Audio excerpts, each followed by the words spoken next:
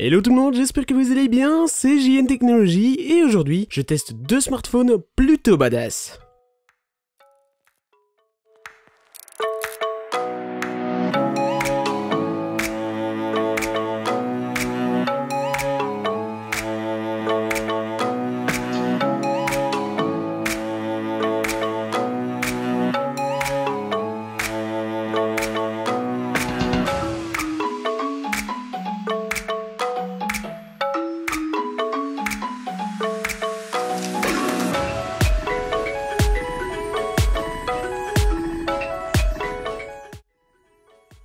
Et oui, j'ai bien dit deux smartphones puisque Samsung m'a bel et bien envoyé le A3 et le A5 2017. Je vous le rappelle que lors de mes tests, je donne mon avis et que c'est objectif, mais c'est mon avis.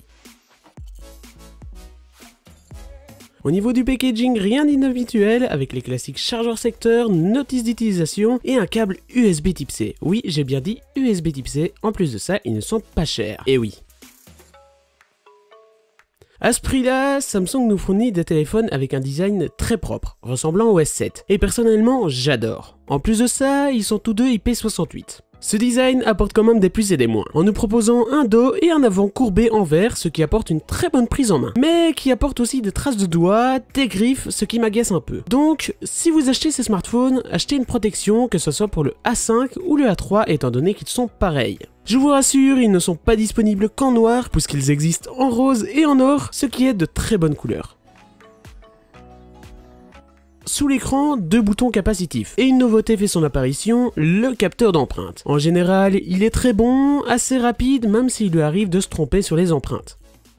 On se retrouve ici avec des smartphones disposant de bonnes caractéristiques techniques, même si le A5 est un poil meilleur, je vous rassure. Le A5 dispose d'un processeur octa-core cadencé à 1,9 GHz et de 3 Go de RAM, contrairement au A3 qui est équipé d'un processeur de 1,6 GHz et de 2 Go de RAM. Le stockage interne est pour les deux smartphones de 32 Go extensible via microSD.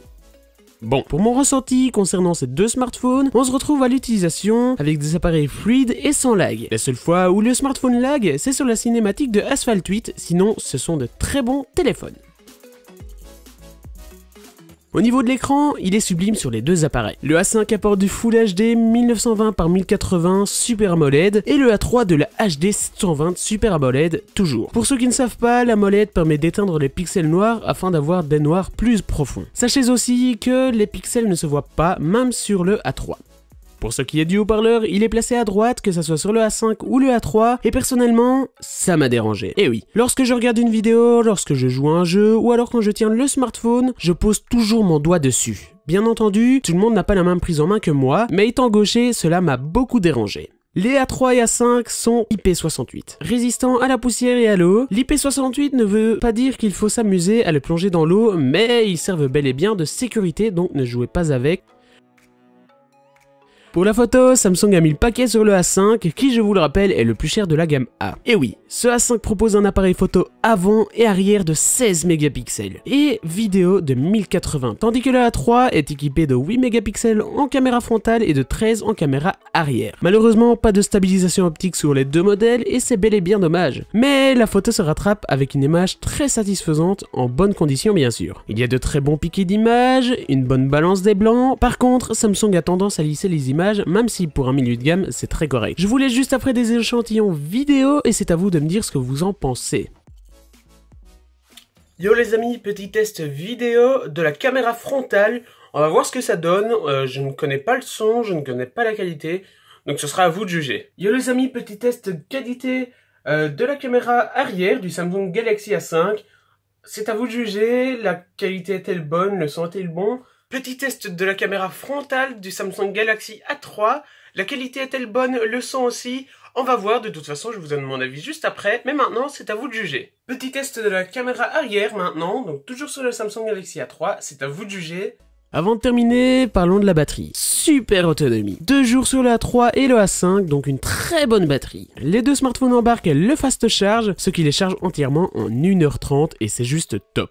Niveau de l'OS, Android habituel 6.0 Marshmallow sur les deux appareils, contenant aussi la nouvelle surcouche de Samsung qui est très réussie. Malheureusement, pas de Android 7.0. On s'y habitue très vite et Samsung y a ajouté pas mal de gestes et de raccourcis, comme par exemple le fait de prendre des captures d'écran en passant la main devant le smartphone, d'avoir le mode multi-fenêtre sur internet, l'onglet actualité qui est disponible quand on swipe vers la gauche depuis l'écran d'accueil, mais aussi pas mal d'autres fonctions que je vous laisserai découvrir lors de l'achat de votre smartphone.